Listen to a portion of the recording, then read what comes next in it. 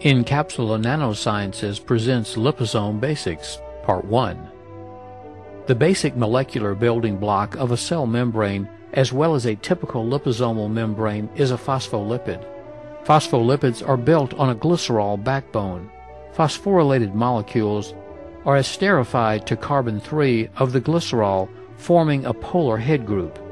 Fatty acids are esterified to carbon-1 and 2 of the glycerol. Phospholipids are known as polar lipids because the phosphorylated portion is polar or water soluble, while the fatty acid tails of the molecules are nonpolar or fat soluble. Fatty acids are referred to as saturated when the carbons in the chain are covalently bonded to each other by a single bond and each carbon in the chain has the maximum number of hydrogen atoms covalently bonded to it. In other words, the carbon chain is saturated with hydrogen atoms. The chain length can vary from 3 to 24 carbons. Unsaturated fatty acids contain at least one double bond in the carbon chain. Each double bond causes a kink in the carbon chain of unsaturated fatty acids.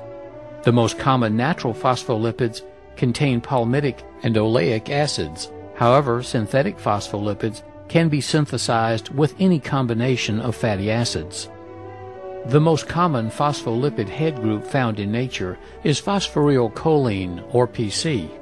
Other head groups include phosphoryl known as PE, phosphorylglycerol, known as PG, phosphorylinositol, known as PI, and phosphorylserine, known as PS. The PC and PE head groups have no charge, while the PG, PI, and PS head groups are negatively charged.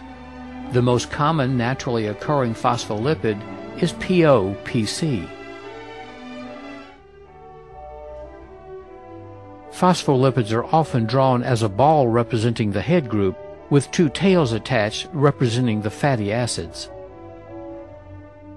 In an aqueous environment, phospholipids orient themselves into a thermodynamically stable structure called a bilayer. This flat sheet of lipid then curves into a geometric structure which has no edges, a sphere.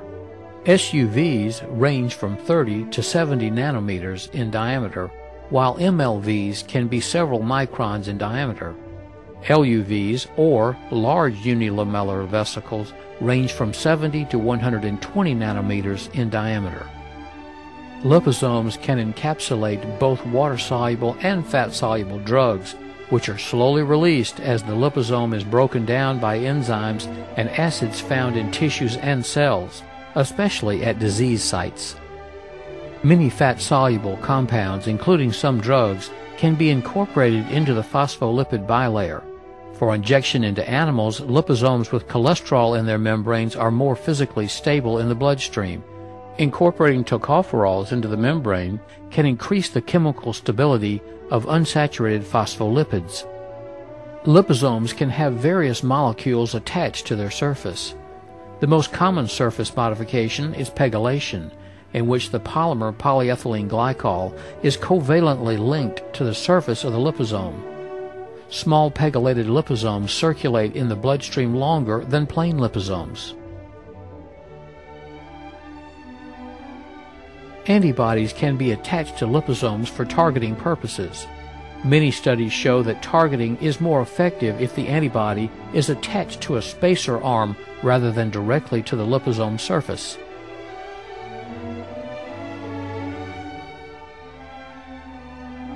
Fluorescent liposomes can be made by encapsulating fluorescent molecules in the aqueous interior of the liposome or by adding fluorescent lipids to the bilayer. In some cases, it is useful to have both the aqueous content and the lipid bilayer labeled simultaneously with different fluorophores. Liposomes are important tools for characterizing membrane-associated proteins in their native environment. Liposomes can be used to mimic cell membranes when studying the interaction of drugs and other molecules with cells. Liposomes can encapsulate DNA or RNA in their aqueous space for delivery to cells. Another type of liposome containing positively charged lipids such as DOTAP, bind the negatively charged nucleic acids to its surface through electrostatic interactions. These so-called lipoplexes can be used to deliver nucleic acids to cells. Some types of lipoplexes sandwich the nucleic acid between the lipid bilayers.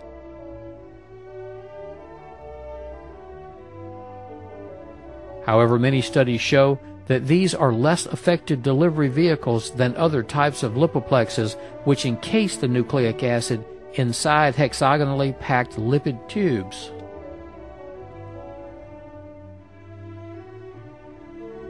Both liposomes and lipoplexes have been shown to deliver nucleic acid to cells in vitro and in vivo. For more information about liposomes, go to our website at www.encapsula.com.